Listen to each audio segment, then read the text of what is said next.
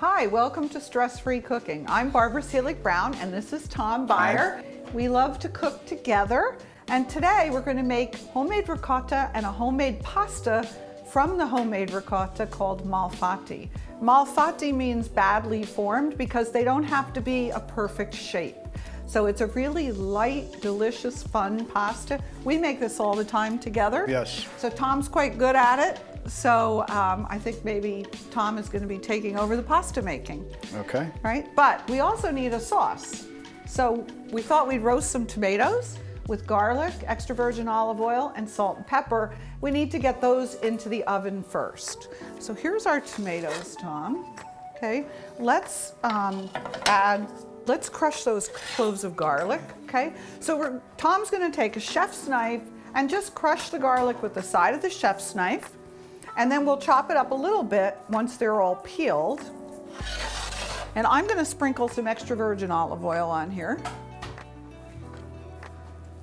Just a little bit, just enough to make them brown and keep them nice and moist. A pinch or two of salt and pepper.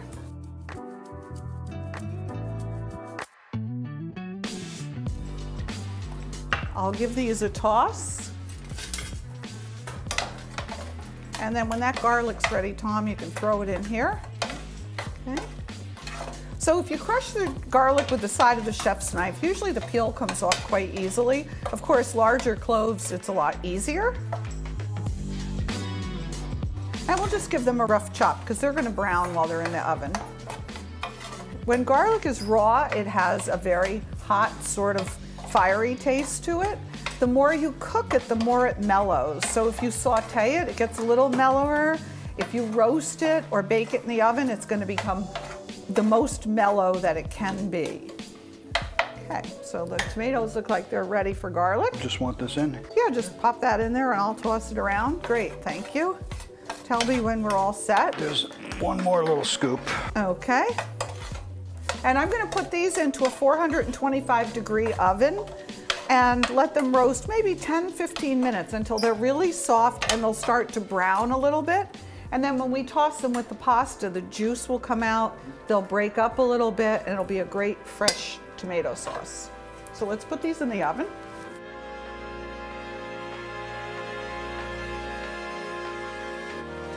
And the next thing we need to do is to start the ricotta. So for that, we need the milk that's over there. So let's grab all the ingredients, Tom. So we have a half gallon of whole milk.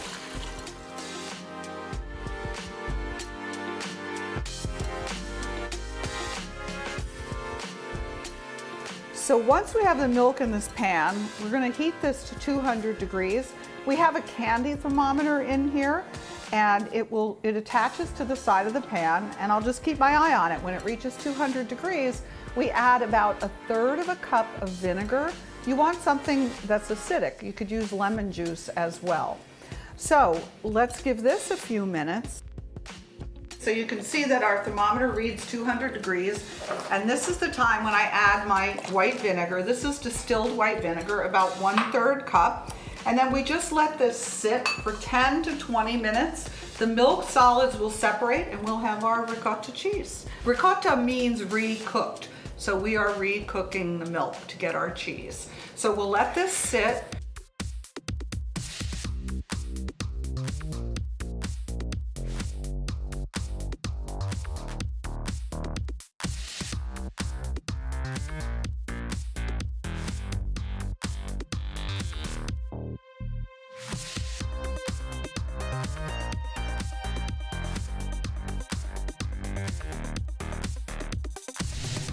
So that's your fresh ricotta.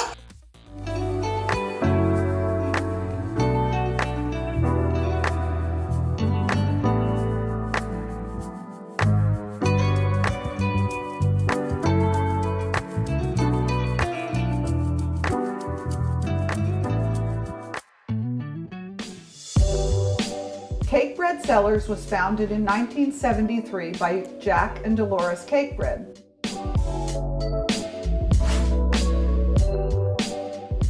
Now the second generation of Cakebreads are running the winery. Cakebread has been known for its unparalleled wines and its gracious hospitality.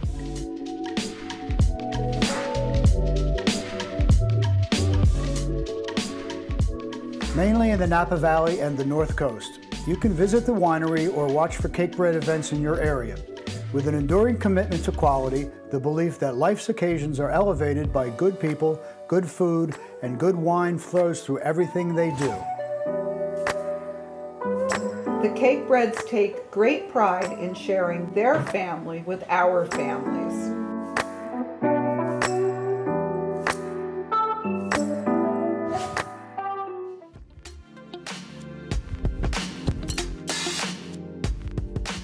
So one of the ingredients that we need for our malfatti pasta is some grated Parmigiano Reggiano.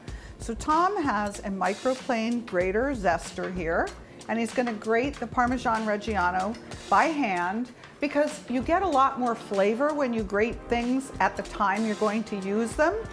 So you want to keep everything fresh. And oftentimes people ask me, is it okay to buy grated cheese? Is it okay to buy peeled or chopped garlic? It is okay. It, there's nothing wrong with it. If that's the only way you'll have time to cook, there's absolutely nothing wrong with it. But just remember that you get more flavor if you do it at the time you add it to the dish.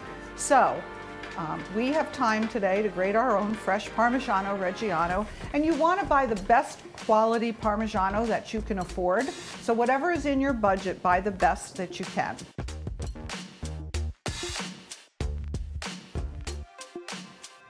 So we want about six ounces of cheese for this recipe of malfatti. Looks like we have plenty there. And you know, your hands are your greatest kitchen tools. You just make sure they're clean and they really are the best kitchen tools you have. So that looks good, Tom. Looks about right. Yep. Okay, great. So you can go ahead and pour that into the food processor. And so this dough is made in the food processor. So we have six ounces of Parmigiano Reggiano. We have everything measured out. So we have some salt in a little bowl there, Tom. And that's about a teaspoon How much? of salt. teaspoon? We're gonna put one egg at room temperature, which we already have uh, set out, and it's at room temperature And where do we crack our egg? on a flat surface. Annabelle and Genevieve taught you well. We need about a cup of flour. And then we have extra flour here because when we roll the pasta dough out, we need flour on our work surface so that it doesn't stick. And then we have our two cups of homemade ricotta cheese, which is going to go in there. Okay. And we made that earlier in the day. All right, here, I'll take that. So all of that goes into the food processor. We have the steel blade in here. And we're gonna just pulse it until it's well mixed. Okay, perfect. Okay, let's take a peek, see how it is.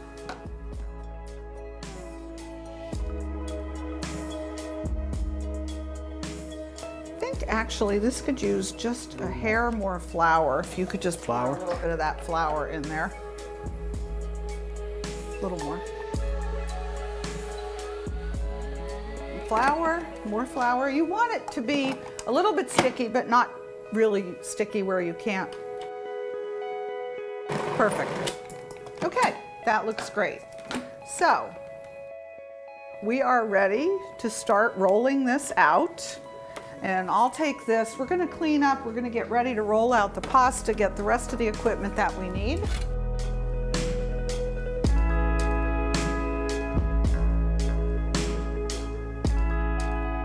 Tom, you can start, Start rolling out, okay? So we're gonna put some flour. Flour on the surface. work surface here.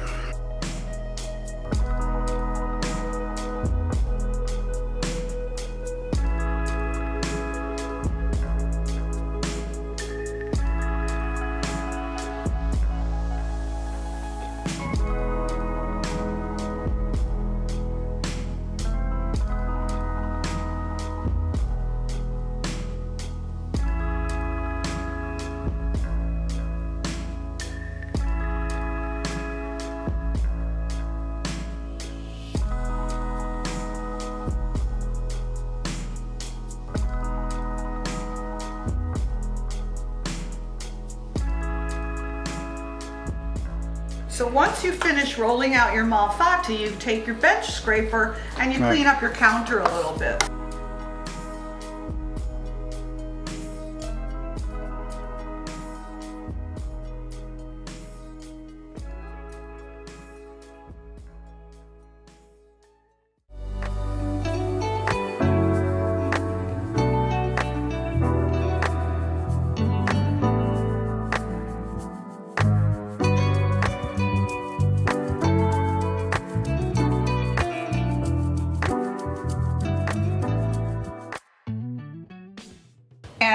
This point, we're ready to get our water boiling and cook our malfatti.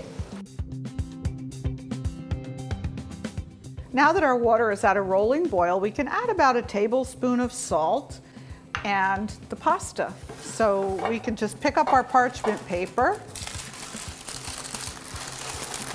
and just pour that pasta right in the boiling water. These only take about two or three minutes once they float to the top.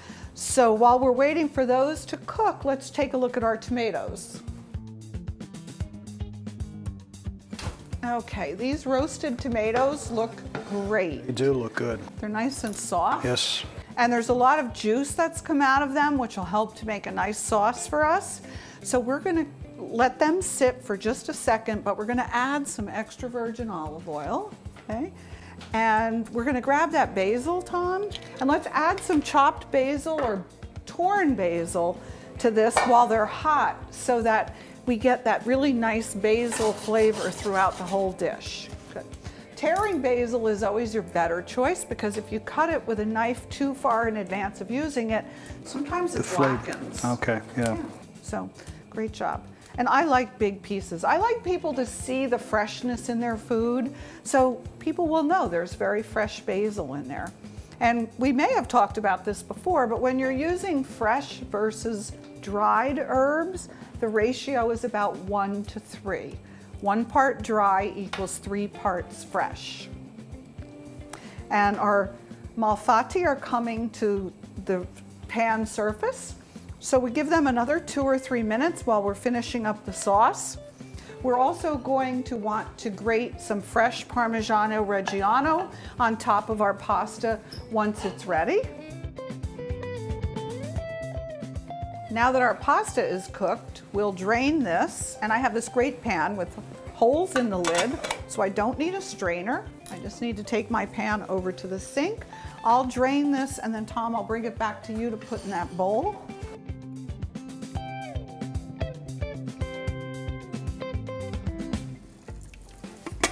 Nice and easy.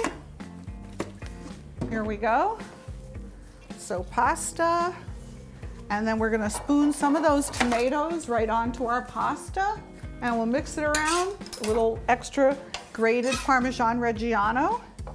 I love the colors. I think it's really pretty to cook with different colors. So we have some yellow tomatoes and some red tomatoes. Sometimes you'll see a package of baby heirloom tomatoes. There might even be a green one in there or a purpley one.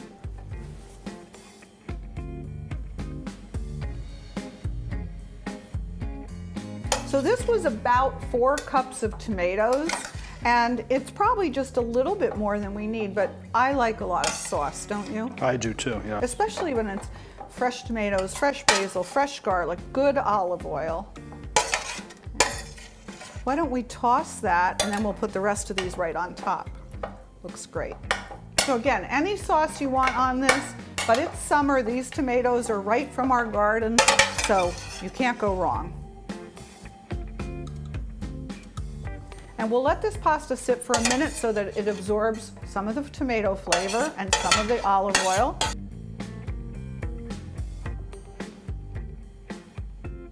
Perfect. Okay, let's get rid of this.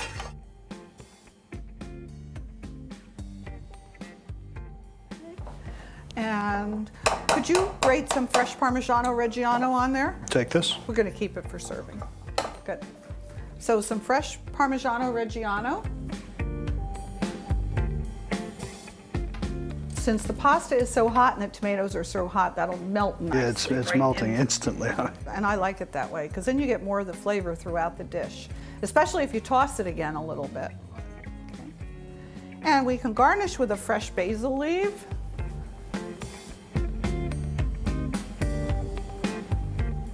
Right in the center there. And that would be a great summer pasta dish. So let's talk a little bit about wine while that's cooling off. Okay, so what do we have here? So we have a K Vintners Barbera. This is a Washington State wine. It's from CasaSmith. I think it's their own little fun play on an Italian wine, but it's not a, a funny wine. It's just a very fun and delicious wine. So let's take a taste and tell me what you taste. So you're gonna swirl. Swirl. If you cover the wine glass when you swirl, you'll retain all those, all the very great fragrances and bouquet that's in there. And when you take your hand off, you'll really get the bouquet. And the first taste is for the nose.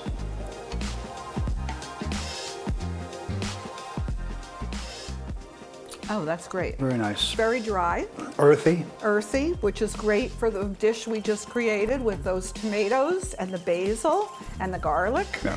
And it's also really deep red. The color is beautiful. It's very, yeah. And a great way to look at the color of wine is against something white so that you really see the color. So cheers, Tom.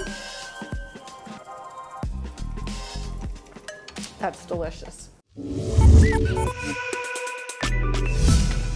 Crave Brothers is a family run business producing award winning mozzarella and many other farmstead cheeses.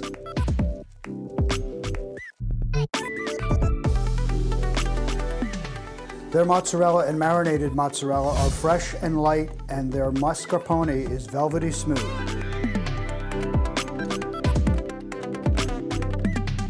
They also produce cheddar cheese curds, which are great for snacking.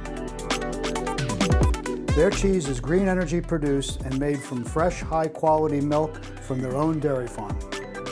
You can find their cheeses at www.cravecheese.com and many other national retailers. We're sure you'll enjoy these cheeses as much as we do.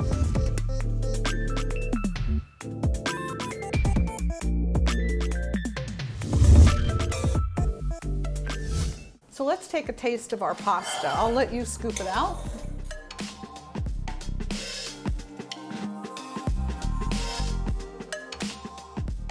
Perfect. Here's a fork for you. Okay.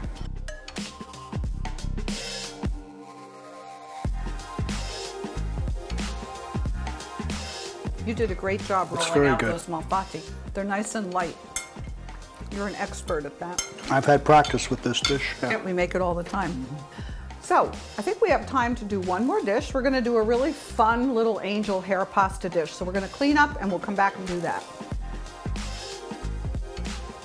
So we have time to do one more quick dish. We're going to do a sauteed angel hair pasta nest with a very basic marinara sauce. So Tom, I'm gonna need you to do some more Garlic, garlic, okay. mind. So again, you crush the garlic with the side of the chef's knife and the skin comes off more easily So I think two cloves of garlic would be perfect for this. I like to do this dish with kids because they're not dealing with a pan of boiling water. So you can kind of control the safety of the cooking the pasta with this type of dish. So I'm gonna start by turning my pan on, adding a little extra virgin olive oil to the pan for the garlic. Okay, so when that's ready, Tom, you can just toss it right in this pan. We'll also want a pinch of salt and pepper in here. So we're making a really quick pan sauce, but we're eliminating that step of boiling the pasta as well, which I like. And the beauty of this is we're using these little pasta nests and they're going to stay in this nest shape. So they'll grow a little bit, but they'll stay in the nest shape. And the other thing that I like about this dish is if you wanted to, you could prepare this dish and then you could put maybe some grilled shrimp or a scallop or something right in the middle of the nest and it would add a little protein to the dish. So let's get the garlic cooking. I smell it already. I do too, yeah. You know, and that's a good gauge too. When you smell the garlic, because you don't want to burn it, you don't want it to get black. If that happens, then the garlic will turn bitter. So we just want to cook this for a minute or two until it's fragrant. And then we can add the pasta nests. So we're gonna brown those pasta nests right in this garlic, salt, and pepper oil. But this needs just another second, I think. Good job on that, looks great. We'll also add some fresh basil to finish this dish.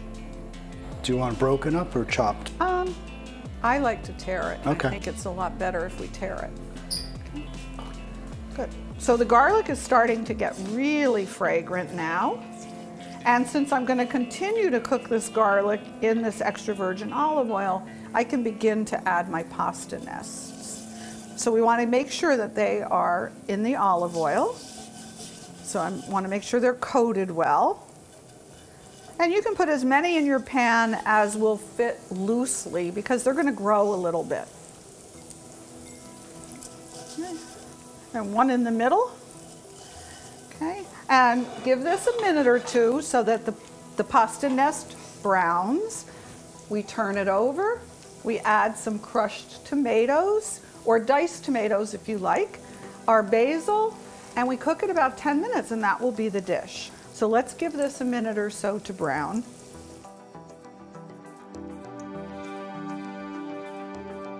Let's check the pasta, see if it's nice and golden. Yep, that one is.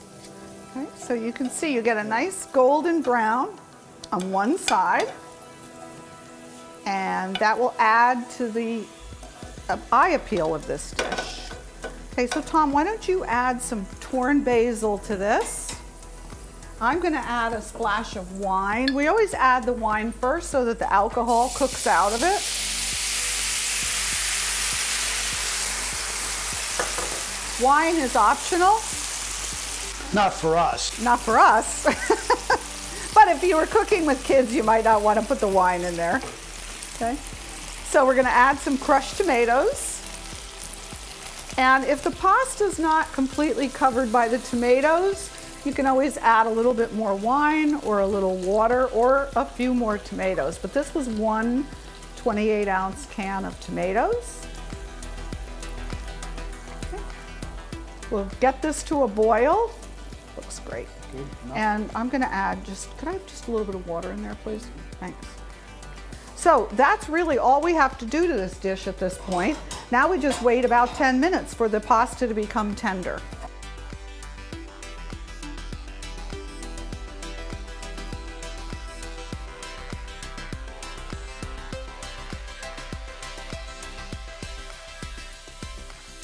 So our pasta is nice and tender. So let's plate one of these pretty little nests. Thank you, Tom. So I like to serve one of these as an appetizer or two or three if it were a main course, right? And sometimes, as I said, I put shrimp in it or a scallop on the side. And we could put a little bit more basil on there. Okay. So a little more sauce on the plate. And then Tom, how about a little bit of grated Parmigiano Reggiano? Also, Grana Padano would be very nice on this dish. It could be a great appetizer. It could be a great entree, depending on how much of it you want to serve. So let me give you a spoon. I know it's really hot. It's going to be hot. Maybe you just take a little taste off the side.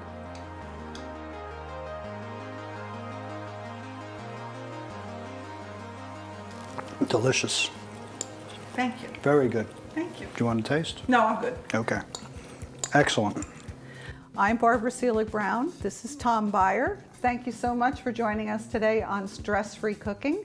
You can find us on Instagram at Stress Free Cook, on Facebook, Stress Free Cooking with host Barbara Seelig Brown. We also have a great website full of recipes, stressfreecooking.com. Thanks again for joining us. We hope you'll be with us next time. thank you